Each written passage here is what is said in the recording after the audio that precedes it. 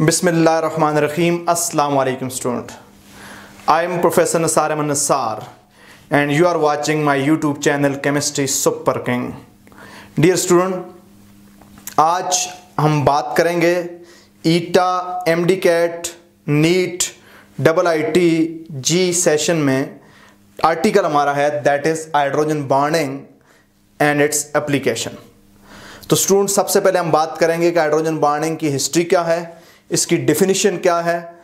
Hydrogen bonding से related facts क्या हैं? और किस तरह के एमसीक्यूज आ सकते हैं? और एट द एंड हम कुछ मॉडल एमसीक्यूज पे भी बात करेंगे। आपने ये वीडियो एंड तक देखनी है और इससे अपने पास हैंड्स बनाने हैं ताकि आपको लेटर ऑन काम आए। तो आइए स्टार्ट करते हैं। हिस्ट्री की बात करूँगा। हाइड्रोजन बॉन्डिंग को फ़र्स्ट टाइम डिस्क्राइब किया था लेटिमर एंड रॉड बुश ने। डिफिनीशन क्या है स्टूडेंट कि वो फोर्स ऑफ़ अट्रैक्शन जो पार्शियल पॉजिटिव हाइड्रोजन और हाईली इलेक्ट्रोनेगेटिव एटम के दरमियान, उस आप क्या कहते हैं हाइड्रोजन बॉन्डिंग कहते हैं। कि force of attraction between partial positive hydrogen and highly electronegative atom that is fluorine oxygen and nitrogen is called hydrogen bonding. Partial positive hydrogen और हाईली इलेक्ट्रोनेगेटिव एटम एक ही मालिक्यूल के भी हो सकते हैं। डिफरेंट मालिक्यूल के भी ये हो सकते हैं। इसलिए हाइड्रोजन बॉन्डिंग दो टाइप की होती है। एक को कहते हैं intermolecular hydrogen bonding intermolecular hydrogen bonding क्या होती है? वो हाइड्रोजन बॉन्डिंग जिसमें पार्शियल पॉजिटिव हाइड्रोजन एक मालिक्यूल को हो। और हाईली इलेक्ट्रोनेगेटिव एटम यानी फ्लोरीन ऑक्सीजन या नाइट्रोजन दूसरे मालिक्यूल को हो। इस पार्शियल पॉजिटिव हाइड्रोजन और हाईली इलेक्ट्रोनेगेटिव एटम के दरमियान जो हाइड्रोजन बॉन्डिंग होगी, उसको एंटर मालिक्यूलर हाइड्रोजन बॉन्डिंग कहते हैं। जब पार्शियल पॉजिटिव हाइड्रोजन एटम और हाईली इलेक्ट्रोनेगेटिव एटम एक ही मालिक्यूल का पार्ट हो, इनके दरमियान जो अट्रैक्शन होती है, उसको आप कहते हैं intramolecular hydrogen bonding student फ़िलहाल मैं एंटर मालिकुलर हाइड्रोजन बॉन्डिंग पे रहूँगा। एंड पे मैं एंट्रा मालिकुलर हाइड्रोजन बॉन्डिंग की भी बात करूँगा। तो आइए स्टूडेंट कंडीशन की बात करते हैं कि हाइड्रोजन बॉन्डिंग के लिए क्या कंडीशन रिक्वायर्ड होती हैं। याद रखना, हाइड्रोजन बॉन्डिंग के लिए दो बेसिक कंडीशन रिक्वायर होती हैं। There are two basic condition of hydrogen bonding पहली कंडीशन याद रखिएगा, हर हाइड्रोजन हाइड्रोजन बॉन्डिंग नहीं कर सकता। वो हाइड्रोजन हाइड्रोजन बॉन्डिंग करेगा जो बहुत ज़्यादा एक्टिव हाइड्रोजन हो, बहुत ज़्यादा पार्शियल पॉजिटिव हाइड्रोजन हो।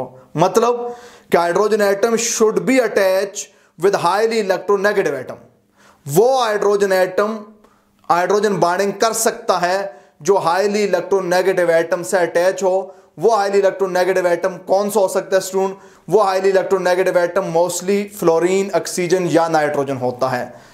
एक और केस भी है, जिसमें कार्बन भी हो सकता है। जब कार्बन के साथ बहुत हाईली इलेक्ट्रोनेगेटिव एटम अटैच हो, वो कार्बन से इलेक्ट्रॉनिक क्लाउड अपनी तरफ़ खींच लेते हैं। कार्बन ज़्यादा इलेक्ट्रोनेगेटिव बन जाता है। अब ये कार्बन अगर हाइड्रोजन से अटैच होगा, ये वाला हाइड्रोजन भी हाइड्रोजन बॉन्डिंग कर सकता है, जिसकी एग्ज़ाम्पल क्लोरोफार्म है। जिसकी एग्ज़ाम्पल क्लोरोफार्म है। दूसरी कंडीशन हाइड्रोजन बॉन्डिंग के लिए स्टूडेंट क्या है? दूसरी कंडीशन हाइड्रोजन बॉन्डिंग के लिए यह है कि जो हाईली इलेक्ट्रोनेगेटिव आइटम है उसकी दो खूबियाँ होनी चाहिए। वो दो खूबियाँ कौन सी हैं? कि highly electronegative atom should have lone pair of electron and smaller size. उसका, उसके बाद लोन पेयर ऑफ़ इलेक्ट्रॉन भी हो और साइज़ भी छोटा हो। याद रखिएगा स्टूडेंट एचसीएल में क्लोरीन की इलेक्ट्रोनेगेटिविटी नाइट्रोजन की इलेक्ट्रोनेगेटिविटी के कंपेरेबल है। क्लोरीन के पास लोन पेयर ऑफ़ इलेक्ट्रॉन भी हैं, लेकिन क्लोरीन हाइड्रोजन बॉन्डिंग नहीं कर सकता। क्यों नहीं कर सकता? उसका साइज़ बड़ा है। साइज़ बड़ा होने की वजह से क्लोरीन अगरचे उसकी इलेक्ट्रोनेगेटिविटी नाइट्रोजन के कंपेरेबल है लेकिन वो हाइड्रोजन बॉन्डिंग नहीं कर सकता। तो स्टूडेंट ये दो बेसिक कंडीशन हाइड्रोजन बॉन्डिंग के लिए कौन सी बेसिक कंडीशन है? कि हाइड्रोजन एटम को हाईली इलेक्ट्रोनेगेटिव एटम के साथ अटैच होना चाहिए और जो दूस, दूसरा हाईली इलेक्ट्रोनेगेटिव एटम है जिसने अट्रैक्शन डेवलप करनी है विद पार्शियल पॉजिटिव हाइड्रोजन वो हाईली इलेक्ट्रोनेगेटिव एटम साइज़ में छोटा होना चाहिए और उसके पास लोन पेयर ऑफ़ इलेक्ट्रॉन होना चाहिए। तो अब स्टूडेंट बात करते हैं कुछ फैक्ट्स की। ये एमसीक्यूज में आते हैं। मैं ईटा के हवाले से बात कर रहा हूँ, इसलिए मैंने टू द पॉइंट बात करनी है। तो स्टूडेंट फैक्ट्स की बात करेंगे। सबसे पहले हाइड्रोजन बाड जो होता है, वो एवरेज कोवेलेंट बाड से 20 टाइम वीकर होता है। Hydrogen bond is 20 time weaker than average covalent bond that is our first fact hydrogen bond directional bond होता है स्टूडेंट याद रखिएगा, हाइड्रोजन बाड को हम डाटेड लाइन से रिप्रेजेंट करते हैं, जी। हाइड्रोजन बाड को हम डाटेड लाइन से रिप्रेजेंट करते हैं। हाइड्रोजन बाड क्या होता है? डायरेक्शनल बाड होता है। ये स्पेसिफिक डायरेक्शन में बनता है between partial positive hydrogen and highly electronegative atom फिर स्टूडेंट याद रखिएगा, वो लिक्विड जिनमें हाइड्रोजन बाडिंग हो, उनमें बहुत सारे मालिक्यूल आपस में अटैच होकर नेटवर्क ऑफ़ मालिक्यूल बनाते हैं। ऐसे लिक्विड को, जिनमें हाइड्रोजन बॉन्डिंग हो, उनको एसोसिएटिंग लिक्विड कहते हैं। उनको क्या कहते हैं? एसोसिएटिंग लिक्विड कहते हैं। स्टूडेंट याद रखिएगा, हाइड्रोजन बॉन्ड की स्ट्रेंथ क्या होती है? हाइड्रोजन बॉन्ड की strength eight to 42 kilojoule per mole होती है। यानी एक हाइड्रोजन बॉन्ड को तोड़ने के लिए आठ से लेकर 42 तक 8 से 42 किलो जूल पर मोल एनर्जी रिक्वायर हो सकती है। यह डिपेंड करेगा कि हाइड्रोजन बॉन्ड किन स्पीशी में किन एटमों के दरमियान बना हुआ है। अब स्टूडेंट याद रखना, हमारे पास जो वंडरवाल फोर्सेज होती हैं, उनको maximum van der Waals force को ब्रेक करने के लिए फोर किलो जूल पर मोल एनर्जी रिक्वायर होती है। इसका मतलब है कि hydrogen bond dipole dipole attraction है एटलीस्ट डबल स्ट्रेंथ का लाजमी होता है। अब स्टूडेंट अक्सर हमसे एक्सक्यूज में पूछा जाता है कि हाइड्रोजन बॉन्ड किसके अंदर स्ट्रांग होगा? एच के अंदर वाटर के अंदर या अमोनिया के अंदर? तो याद रखिएगा, जितना एटम ज़्यादा इलेक्ट्रोनेगेटिव होगा, उसका साइज़ छोटा होगा, उतना हाइड्रोजन बॉन्ड स्ट्रांग होगा। तो हाइड्रोजन बॉन्ड एच के अंदर स्ट्रांग होता है एज कंपेयर टू वाटर जिसमें हाइड्रोजन बॉन्ड स्ट्रांग होता है एज कंपेयर टू अमोनिया ये अक्सर एमसीक्यूज आता है। लेकिन याद रखिएगा, इसके साथ एक दूसरी बात भी लिंक्ड है। उस बात पे जाने से पहले मैं इनकी स्ट्रेंथ जरा आपको बताता हूँ। एच का एक बाड एक मोल बाड एच के अंदर एक मोल हाइड्रोजन बाड तोड़ने के लिए 41.84 किलो जूल एनर्जी रिक्वायर्ड होती है। वाटर के एक मोल हाइड्रोजन बाड तोड़ने के लिए 29.29 किलो जूल एनर्जी रिक्वायर्ड होती है। जबकि अमोनिया का एक हाइड्रोजन एक मोल हाइड्रोजन बाड तोड़ने के लिए 8.37 किलो जूल पर मोल एनर्जी रिक्वायर्ड होती है। स्टूडेंट आपका एमसीक्यूज होता है। कि अमोनिया का हाइड्रोजन बाड एच के हाइड्रोजन बाड से कितने टाइम वीकर है? तो याद रखिएगा, तकरीबन फाइव टाइम वीकर है। एच का हाइड्रोजन बाड, अमोनिया के हाइड्रोजन बाड से फाइव टाइम स्ट्रांगर है। तो याद रखिएगा स्टूडेंट हमारे पास हमारे पास जो अमोनिया और वाटर का बाड है अमोनिया से वाटर का हाइड्रोजन बाड तकरीबन थ्री टाइम स्ट्रांगर है। तो अमोनिया का हाइड्रोजन बाड वीकर होता है वाटर का स्ट्रांगर होता है एचएफ का और स्ट्रांगर होता है। ये स्टूडेंट आपका एमसीक्यूज हो सकता है। फिर स्टूडेंट मैं एक और बात करूँगा, याद रखना कि किसके अंदर extent of hydrogen bonding extent of hydrogen bonding water में ज़्यादा है, क्योंकि वाटर का पर मालिक्यूल चार हाइड्रोजन बॉन्ड बना सकता है। याद रखिएगा यह भी बहुत ज़्यादा कंफ्यूजन वाली बात है कि बाज लोग कहते हैं वाटर दो हाइड्रोजन बाण बनाते हैं। बाद लोग कहते हैं हाइड्रोजन चार हाइड्रोजन बाण बनाते हैं। हाइड्रोजन के अंदर कितने, वाटर के अंदर कितने हाइड्रोजन बाण हैं? याद रखिएगा, ये बात डिपेंड करती है। टेम्परेचर के ऊपर डिपेंड करती है। वाटर के अंदर मैक्सिमम चार हाइड्रोजन बाड हो सकते हैं। लेकिन लिक्विड वाटर में चार हाइड्रोजन बाड होते नहीं हैं, क्योंकि ये बाड बनते और टूटते रहते हैं। इसीलिए वाटर को फ्लिकरिंग क्रिस्टल कहते हैं। वाटर को फ्लिकरिंग क्रिस्टल कहते हैं। वाटर के अंदर एवरेज हाइड्रोजन बाड की तादाद 3.16 बनती है, क्योंकि ये हमारे पास बनते और टूटते रहते हैं। हमारे पास जब आइस होती है तो आइस में चार हाइड्रोजन बाड पर वाटर मालिक्यूल बनाता है। लिक्विड वाटर में ये बनते टूटते रहते हैं। इसकी जो एवरेज निकाली गई है 3.16 निकाली गई है। तो याद रखिएगा student and which of the following liquid strength of hydrogen bonding is maximum hydrogen bonding की स्ट्रेंथ किसमें मैक्सिमम वाटर के अंदर है। चूँकि वाटर का पर मालिक्यूल चार हाइड्रोजन बॉन्ड बना सकता है।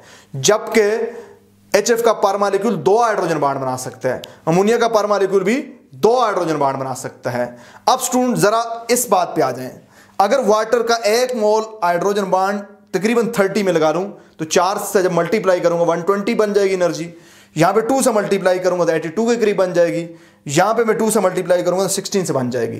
तो extent of hydrogen bonding water में ज़्यादा है। Extent of hydrogen bonding water में ज़्यादा, फिर एचएफ के अंदर, फिर अमोनिया के अंदर। यही वजह है कि वाटर का बॉइलिंग पॉइंट ज़्यादा, फिर एच का और फिर अमोनिया का। हाइड्रोजन बॉन्ड की स्ट्रेंथ का आर्डर क्या है? H F is stronger than water which is stronger than ammonia दो पॉइंट में कंफ्यूज नहीं होना। स्टूडेंट याद रखिएगा, मैं अभी एंटर मालिकुलर हाइड्रोजन बॉन्डिंग की बात कर रहा हूँ। एंटर मालिकुलर हाइड्रोजन बॉन्डिंग में हाइड्रोजन बॉन्डिंग की वजह से boiling point melting point solubility thermal stability viscosity और सरफेस टेंशन इंक्रीज होती है। याद रखना due to hydrogen bonding molecule के अंदर अगर हाइड्रोजन बॉन्डिंग होगी, उसका boiling point melting point solubility thermal stability viscosity और सरफेस टेंशन ज़्यादा होगी। हाइड्रोजन बॉन्डिंग की वजह से कुछ पैरामीटर कम होते हैं। कौन से कम होते हैं? एसिडिक कैरेक्टर कम होता है। याद रखिएगा वोलेटिलिटी कम होती है। वोलेटिलिटी कम होती है।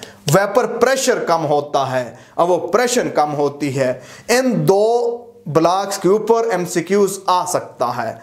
कि which of the following become maximum with the hydrogen bonding in molecule hydrogen bonding molecule में होने से कौन सी चीज़ मैक्सिमम होगी? Boiling point surface tension viscosity all of these तो आपका ऑप्शन क्या होगा स्टूडेंट ऑल ऑफ़ दीज का ऑप्शन होगा। इसी तरह स्टूडेंट अगर आपसे पूछा जाए कि which of the following will decrease with the increase in hydrogen bonding कौन सी बात हाइड्रोजन बॉन्डिंग इंक्रीज होने से डिक्रीज होगी? Option one boiling point option two thermal stability option three vapour pressure all of these तो यहाँ पे हमारा ऑप्शन क्या बनेगा? यहाँ पे हमारा ऑप्शन वेपर प्रेशर बनेगा तो स्टूडेंट ये थी a brief description about the intermolecular hydrogen bonding थोड़ी सी बात मैं करूँगा एंट्रा मालिकुलर हाइड्रोजन बॉन्डिंग की स्टूडेंट बात करते हैं एंट्रा मालिकुलर हाइड्रोजन बॉन्डिंग की एंट्रा मालिकुलर हाइड्रोजन बॉन्डिंग क्या होती है वो हाइड्रोजन बॉन्डिंग जो पार्शियल पॉजिटिव हाइड्रोजन और highly electronegative atom of same molecule के दरमियान हो। एक ही मालिक्यूल का पार्शियल पॉजिटिव हाइड्रोजन और हाईली इलेक्ट्रोनेगेटिव एटम के दरमियान जो फोर्स ऑफ़ अट्रैक्शन डेवलप होगी, उसको हम एंट्रा मालिकुलर हाइड्रोजन बॉन्डिंग कहते हैं। याद रखिएगा स्टूडेंट बाद दफ़ा आपसे एमसीक्यूज होता है which of the following is intramolecular force of attraction उसमें एक दिया जाता है हमारे पास डाइपोल डाइपोल अट्रैक्शन एक दिया जाता है intermolecular hydrogen bonding intramolecular hydrogen bonding none of these तो ऑप्शन होगा none of these intramolecular hydrogen bonding is the type of intermolecular forces याद रखना। एक और पॉइंट याद रखना, बाद दफ़ा आपको मालिक्यूल दिए जाते हैं कि किसमें एंट्रा मालिकुलर फोर्स है। एंट्रा मालिकुलर फोर्स किस के अंदर है? फॉर एग्ज़ाम्पल आपको दिया जाता है अमोनिया आपको दिया जाता है लिक्विड अमोनिया वाटर किसमें एंट्रा मालिकुलर फोर्सेस हमारे पास है, आपको दिया जाता है एच एफ़ किसमें एंट्रा मालिकुलर फोर्सेस और एंटर मालिकुलर फोर्सेस हैं? तो इन सब में एंट्रा मालिकुलर भी है, चूँकि ट्रू केमिकल बाड है और एंटर मालिकुलर फोर्सेस भी हैं। इसी तरह आपसे पूछा जाता है कि किसमें सिर्फ़ एंटर मालिकुलर फोर्सेस हैं? हेलियम आपको ऑप्शन दिया जाता है। तो हेलियम में चूँकि कोई बाड होता ही नहीं है तो सिर्फ़ एंटर मालिकुलर फोर्सेज होती हैं। तो यहाँ पे मेरा पॉइंट यह है कि एंट्रा मालिकुलर फोर्सेस सिर्फ़ ट्रू केमिकल बाड होते हैं। Intramolecular hydrogen bonding is the type of intermolecular forces. तो स्टूडेंट देखें मेरे पास क्या है? फ्लोरोफिनोल है। तो यहाँ पे फिनोल के हाइड्रोजन और फिनोल का जो हाइड्रोजन है और यहाँ पे जो फ्लोरीन है, इसके दरमियान जो अट्रैक्शन होगी, ये हाइड्रोजन बॉन्डिंग होगी। लेकिन कौन सी हाइड्रोजन बॉन्डिंग होगी? ये एंट्रा मालिकुलर हाइड्रोजन बॉन्डिंग होगी। इसी तरह स्टूडेंट हमारे पास क्या है? हमारे पास सेलिसैलिक एसिड है। सेलिक एसिड में क्या होता है? बेंजोइक एसिड और आर्थो पोजिशन पे ओएच लगा होता है। कार्बोक्सिलिक एसिड के कार्बोनाइल ऑक्सीजन और हाइड्रोक्सिल के हाइड्रोजन के दरमियान जो अट्रैक्शन होगी, ये हाइड्रोजन बॉन्डिंग होगी, लेकिन कौन सी हाइड्रोजन बॉन्डिंग होगी? ये एंट्रा मालिकुलर हाइड्रोजन बॉन्डिंग होगी। इसी तरह स्टूडेंट याद रखिएगा, हमारे पास सेलिसल डिहाइड होता है। यानी हमारे पास आर्थो पे ओ OH होता है और ऊपर अल्डिहाइड ग्रुप होता है। ओ OH के हाइड्रोजन और अल्डिहाइड के किसके? ऑक्सीजन के दरमियान जो अट्रैक्शन होगी, ये एंट्रा मालिकुलर हाइड्रोजन बाइंडिंग होगी। याद रखना, ये वाला हाइड्रोजन हाइड्रोजन बाइंडिंग नहीं कर सकता, क्योंकि ये कंडीशन पूरी नहीं कर रहा। ये वाला हाइड्रोजन हाईली इलेक्ट्रोनेगेटिव एटम के साथ अटैच नहीं है। याद रखिएगा स्टूडेंट जो इंट्रा मालिकुलर हाइड्रोजन बाइंडिंग होगी इंट्रा मालिकुलर हाइड्रोजन बाइंडिंग की वजह से बॉइलिंग पॉइंट और एसिडिक कैरेक्टर क्या होगा? कम होगा। बॉइलिंग पॉइंट और एसिडिक कैरेक्टर कम होगा। Acidic character intermolecular hydrogen binding से भी कम होता है और इंट्रामालिकुलर हाइड्रोजन बाइंडिंग से भी कम होता है। जबकि boiling point intermolecular hydrogen binding से ज़्यादा होता है। इंट्रामालिकुलर हाइड्रोजन बाइंडिंग से कम होता है। स्टूडेंट ये बात उलट है। जब इंट्रामालिकुलर हाइड्रोजन बाइंडिंग होगी वोलेटिलिटी ज़्यादा होगी। एंटर मालिकुलर हाइड्रोजन बाइंडिंग में वोलेटिलिटी कम होती है। तो ये पॉइंट आपने अपने पास याद रखने हैं स्टूडेंट तो ये मेरे पास था intermolecular and intramolecular hydrogen binding और उससे रिलेटेड बहुत सारी बातें। स्टूडेंट आपने अगर मेरा चैनल अभी तक सब्सक्राइब नहीं किया, इसको लाजमी सब्सक्राइब करें। साथ बेल के आइकन को भी प्रेस करें ताकि आपको आने वाले सेशन की नोटिफिकेशन ऑटोमेटिक मिलती रहे। तो नेक्स्ट सेशन हमारा जो आएगा, वो आएगा evidences and application of hydrogen binding के ऊपर।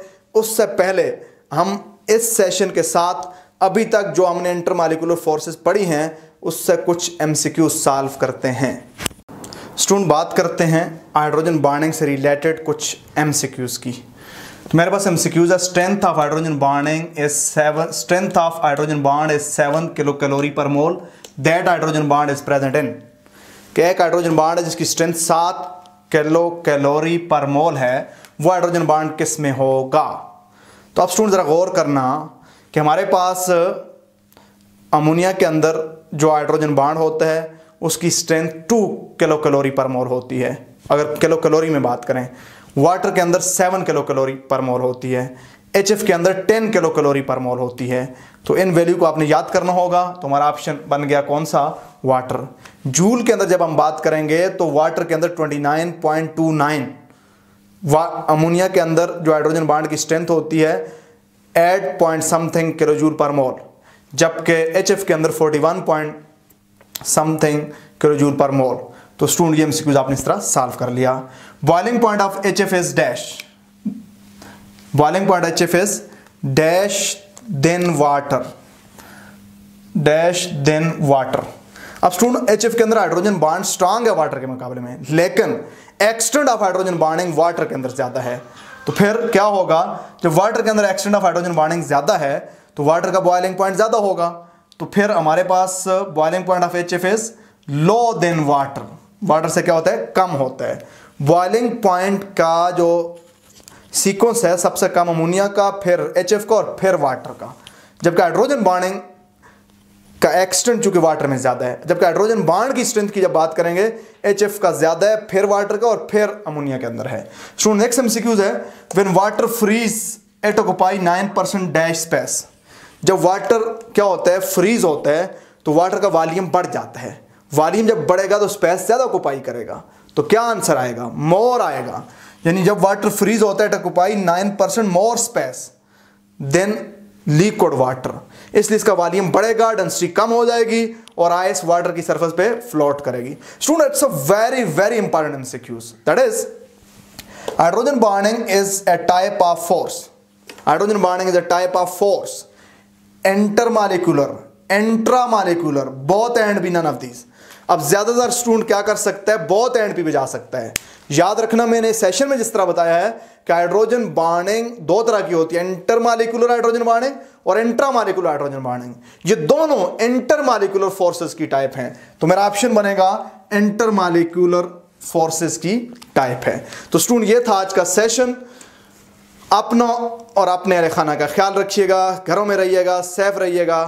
Thank you very much